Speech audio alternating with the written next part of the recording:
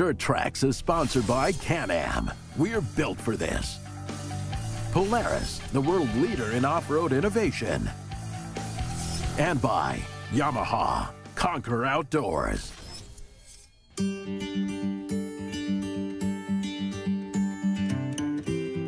Of the whole crew here at Dirt Trax, I'm actually the only one who's been to Newfoundland before, not in the winter.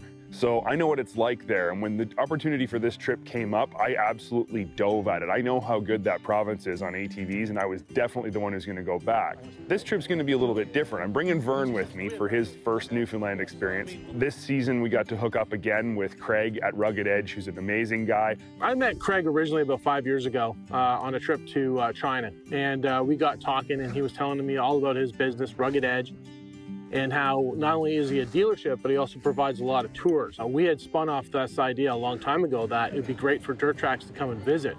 Great things we offer at Rugged Edge. We do private tours, we do group group tours. We offer, you know, we, we do things for corporate groups. Uh, we can also rent an RV. We do ATVs, snowmobiles, and we can hook you up we, we can do a full all-inclusive package. So if people want to come to Newfoundland, we can try, we try to make it easy as possible. We can book your hotels, we'll book your meals, and we'll even give you advice where to go and what to see and stay while you're here. Finally able to sort of put this trip together with the help of Newfoundland Tourism, and um, we're looking forward to spending the week with Craig. After uh, landing into uh, Deer Lake and getting our bags and meeting with, with Greg, we got underway on our, on our route down south. And you don't have to go any further than about a couple kilometers outside of the airport for you to start realizing how majestic is probably the best word the landscape is. One of the things that uh, I think Newfoundland is really well known for is how genuine and how friendly they are. And that level of hospitality hits you as soon as you get off the plane. And so we knew that within the first hour that this was going to be a really, really fun uh, trip. The goal for this trip is to head up the west coast of Newfoundland unrestricted on our side-by-sides and ATVs starting from the most southern point in Port aux Basques, heading north up through Corner Brook, then ending the trip in the town of Deer Lake. But if you're in Newfoundland, it's gonna have all the great elements that my last trip had with people and food and lodging and all that kind of stuff. I'm really looking forward to this one. One of the major things we wanted to showcase with the Dirt Track show this time around was we finally got a missing link on the island fixed. So and again, with the new bylaw, the city corner can pass, this now opens up that link, welcomes, you know, the ATV traveler exposed to a lot more tourist destinations, amenities, gas stations, food.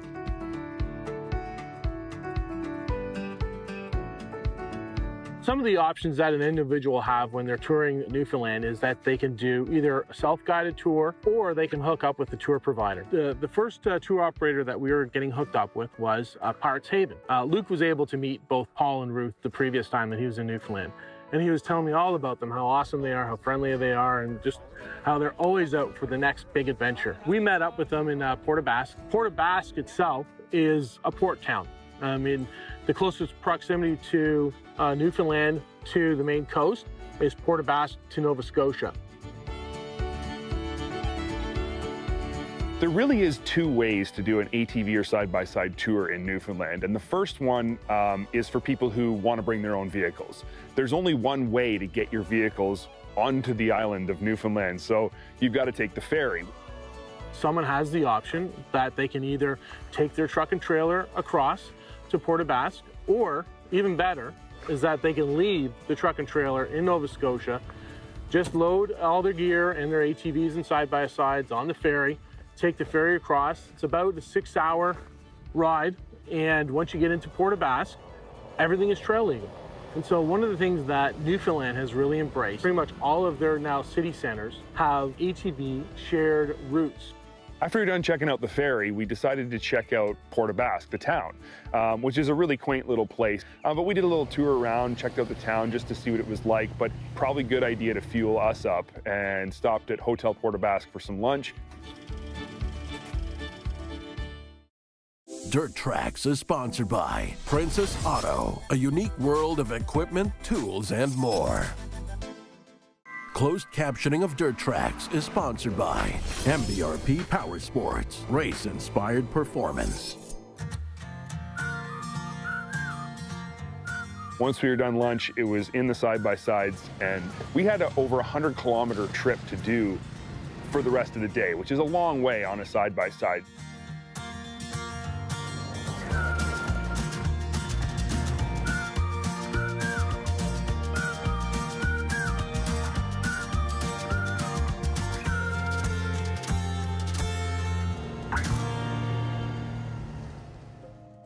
That then leaves uh, the town, and it's not far before you get to an area called Tabletop. You then travel up this long, long, long trail. It's, it's, nothing too extreme, but it is a really, really long pull. And so you're just continually going up and up and up. To get up to the tabletops was really neat. It was rough, it was steep. Um, we had some fun, kind of Vern and I just ripping up there.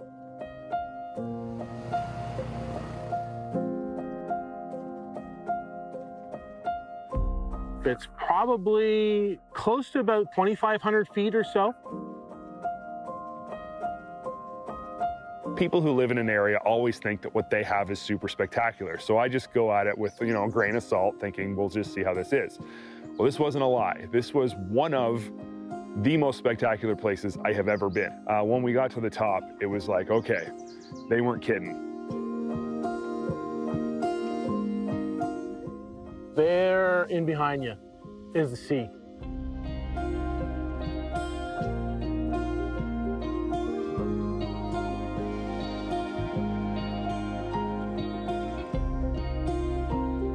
This is amazing, overlooking the ocean, overlooking lakes and the highway way, way down there where, you know, the cars are just like little tiny ants running along the highway. It was so cool.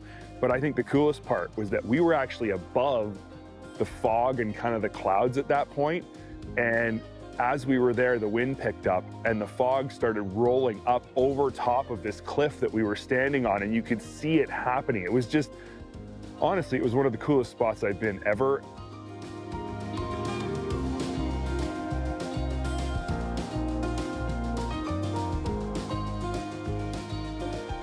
True experience of seeing like the scenery and the vistas that we're going to come to expect day in and day out on our tour of Newfoundland.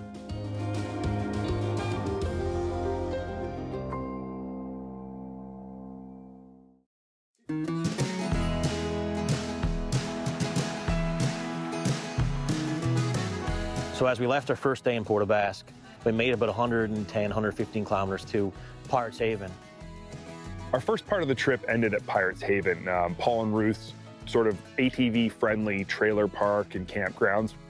Well, Pirates Haven is located in Robinsons. That area itself is known for back in the day when sort of pirates had sort of come on board to the shores of Newfoundland. And so that's sort of where the, the, the story begins.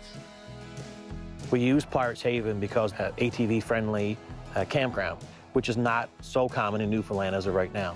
Uh, Paul and Ruth, the owners, I've known them for quite a few years now.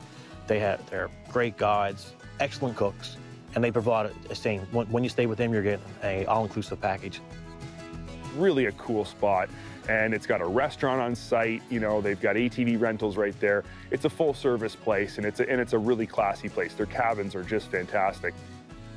We're pretty tired, so we unloaded our gear quick into our cabins. And at this point, not only tired, we were starving to death. But Paul had a real surprise for us. When he does a tour, he takes people out and does a cookout somewhere, and he can do a cookout of all different kinds. For us, though, he wanted to do an authentic Newfoundland lobster boil up. So we loaded up our gear and we headed out to this secret spot that Paul has picked out about 30 kilometers from, from Pirates Haven.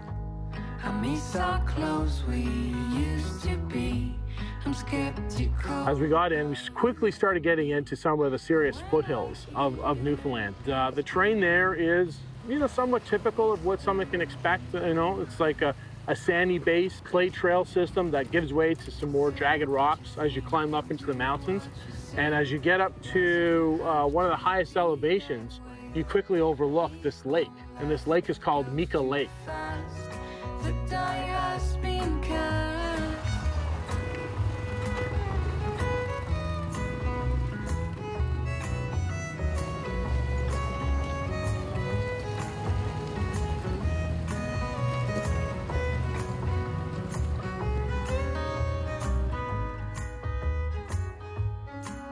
Show up at this totally secluded private beach on a lake. It was absolutely spectacular. The water was like clear as clear can be. I've never seen water that clear in my life. It was also freezing cold for anybody who was wondering.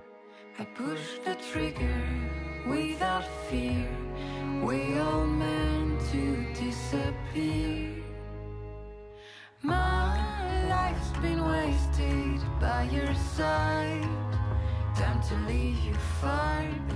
So as we got uh, onto uh, the trail, we met up with two other guys, and, and these are guys that come out and help uh, uh, Paul and Ruth uh, do guided tour. The one gentleman uh, was uh, a lobster fisherman, and uh, he was out earlier that morning and caught about 30 or so fresh lobsters, and that's what he was bringing along the trip. We watch the fire for a little while. It won't take long, boys. A bit. Go for a man, let's go, go for a man bath right now. Oh yeah, water's beautiful, man. Beautiful beach. I know from in the past with Luke, he's not a big lover of seafood. He was convinced to eat fresh cod the last time. This time around, uh, we had some fresh lobster just hauled out of the ocean within hours before we cooked it. We went in and cooked it in fresh water, not from a tap, right from a, from a lake. I knew, again, that Vern would probably eat, you know, eat anything. But uh, again, I, I truly believe they, you know, to get out in the woods and enjoy something over an open fire. There's, there's no, you can't compare the taste of anything that you're gonna eat in the woods cooked that way. I'm gonna go for a man bath in here. Nice and hot, hot tub right now. 60 seconds, like two minutes tops. They have an entire setup with food on it, tables out, drinks out, coolers. Paul's got his lobster boiling bucket out. He's making a fire. Like it's all set up. The lobsters, and 15 minutes later, we've got boiled lobsters. So it was, if that's an authentic experience in Newfoundland, it's pretty cool to be a part of it.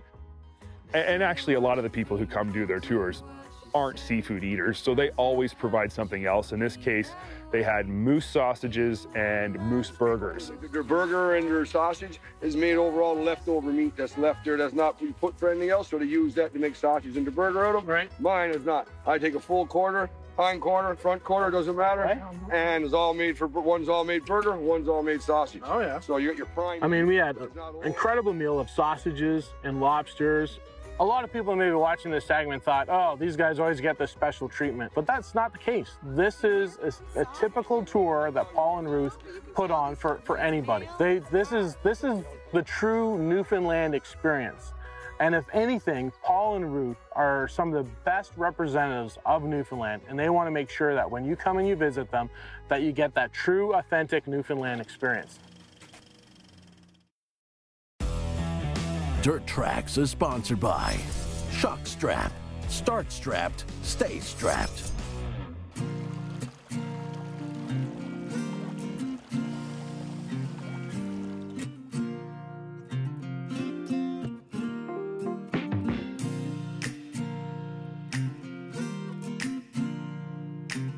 As day one came to a close, with the, the sun was setting, and we knew that uh, we had a limited amount of time to get from the beach over to what they call Robinson Head.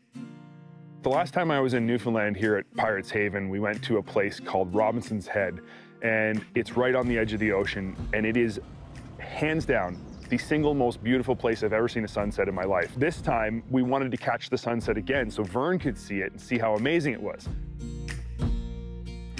We rushed out, we got there just in the nick of time, just as the sun was coming down. And as you come over the, the ridge out onto the coast, you just see the entire coastline. You, you see the Gulf of St. Lawrence, which gives its way out to the Atlantic.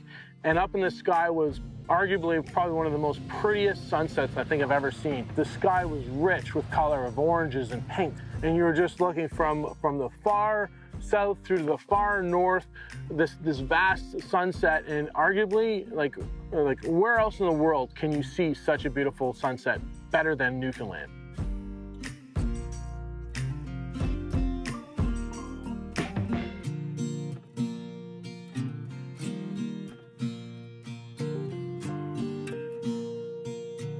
It's one of the most warming feelings to stand up on the grassy fields, look out over the ocean, seeing the sunset. Uh, it's kind of overwhelming. And I think when I look around and see every person that we ever take there, everyone just stands and looks at the sun in complete awe. We're there for, uh, you know, 10 or 15 minutes, but maybe it seems a lot longer because it is quite an amazing place. And it's a great way to end your first day in Newfoundland. I'm sure it's a memorable experience for anyone to, finish off their first day riding and end up with that look over Robinson's Head. The first part of this trip has been amazing. We've met amazing people, we've eaten amazing food, and we've seen some of the most incredible overlooks uh, I've ever experienced. Stay tuned for next week's episode where we continue our trip from Robinson's to the town of Corner Brook, where we ride right through the city on the new connector trail on our way to Deer Lake.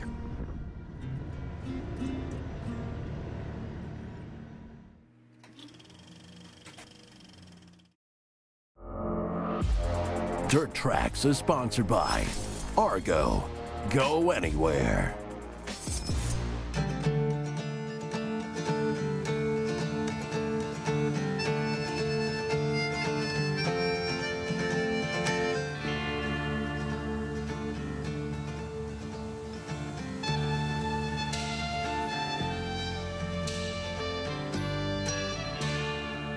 While new products are plenty in the off-road marketplace, falling outside of the norm is, well, not that normal. So when I see something unique and new, I want nothing more than to get my hands on it and see what it's all about. And the Mahindra Roxor is precisely one of those vehicles. Who's that? While they're not a big player in the off-road world, they are a massive company, and they claim to be the largest tractor manufacturer in the world. Mahindra sells tractors and implements, cars, off-road vehicles, owns the popular motorcycle companies BSA and Jawa to name a few, and are also the owners of Pininfarina, a boutique supercar design firm who are currently making the Battista, a 1900 horsepower electric supercar. yeah, Mahindra is no small player on the world stage. So now that you got a bit more of an idea of the size of Mahindra, let's move on to what I have here today. This is the 2019 Mahindra Roxor, an off-road only side-by-side utility vehicle but really, it's a whole lot more than that. It sits at 148 inches long with a wheelbase of 96 inches. It's 75 inches tall and 62 inches wide and produces 9 inches of ground clearance. Suspension travel? Well, it's not huge because this rig features a box steel frame and leaf springs. Yeah, I said leaf springs, which sit atop a solid front and rear axle. This truly is a very different off-road vehicle. Now this may surprise you, but the Roxor actually is the latest turbo in the side-by-side -side marketplace. Under the hood sits a 2.5 liter direct injected common rail turbo diesel. Produces 62 horsepower and a whopping 144 foot-pounds of torque. And let me tell you, while the 62 horsepower may not be eye-opening, the industry-leading 144 foot-pounds of torque being put to the ground through a five-speed gearbox into a 373 ratio, yeah, this thing has enough torque to do anything you ask of it including towing up to 3,490 pounds. Now to assist this big brute in stopping, Mahindra equipped the Roxor with 11-inch vacuum-assisted discs up front and then 11-inch drums in the rear, which equates to probably the most capable braking package in the industry. And inside you're going to find the basics you need to get the job done. A 12-volt outlet, two storage compartments under the seat, and a couple of rugged but comfy seats. Out back, you've got the option of accessory rear forward-facing seats, but stock is just an open storage space. Our particular test unit is equipped with quite a few nice accessories that I'll talk about a little later on. So essentially it's the workhorse of the side-by-side -side world. It's hugely capable, powerful, and very outside of the box, but where does it fit and can it do more than just plow snow and tow big loads? And the answer is quite simply yes, yes to everything. The Roxor is a blast out on the trails. Do you cruise as fast as a conventional independently sprung side-by-side? -side? No, of course not. But this is anything but conventional. Ground speeds are lower, but fun is off the charts. The 5-speed gearbox is the first stick shift in the industry and it's so much fun. The turbo diesel whirs away and carries us up to 55 mile an hour speed limit with ease. While we may not be power sliding it through the corners, we are giggling like little boys the whole time. It's an absolute riot. It's like grandpa just gave you the keys to the farm truck, except that the farm truck is a hugely capable off-road turbo diesel beast that's ready for, well, anything. And this is where the accessories come into play. While in stock form the Roxor is hugely capable, our Roxor has a whole host of cool upgrades that are available from your dealer. Ours has got lunchbox lockers both front and rear with Warn manual locking front hubs, Bilstein shocks all the way around to help soften our ride, upgraded motivator tires and beadlock look aluminum rims with full-size spare out back, a soft top with a 40-inch KC LED light bar, and a massive HD winch bumper with Stinger and Warn 8,000-pound winch. That's just a few of the accessories that we've got to play with. While the 9-inch of ground clearance isn't massive in the industry, the 8,000-pound winch is, and will get us out of any situation that we find ourselves in. While the Roxor doesn't really fit inside of any of the standard side-by-side -side boxes, it does have its own category, and that category is ultimate off-road capability. And the only thing that you can do to come close is buy yourself an on-road four-wheel drive vehicle that will retail for nearly twice the price but still not have the rugged trail taming abilities of the Roxor or the compact package that it comes in, or the insanely durable diesel tractor motor, or the massive dealer available accessory selection, or the, well, okay, you get it. It's really in a class of its own. And while at first I truly didn't know if I would like the Roxor, I've learned in a very short period of time that the capabilities are much like the possibilities, truly endless.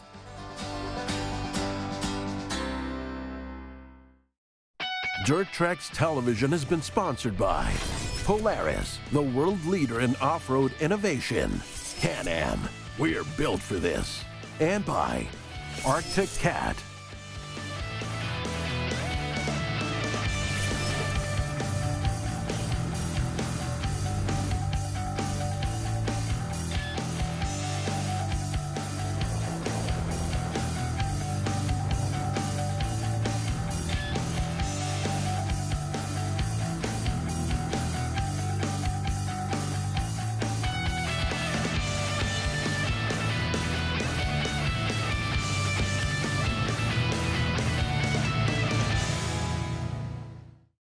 Make sure you click to subscribe for even more great content on our YouTube channel. Travel stories, test rides, modifications, you name it, we've got it.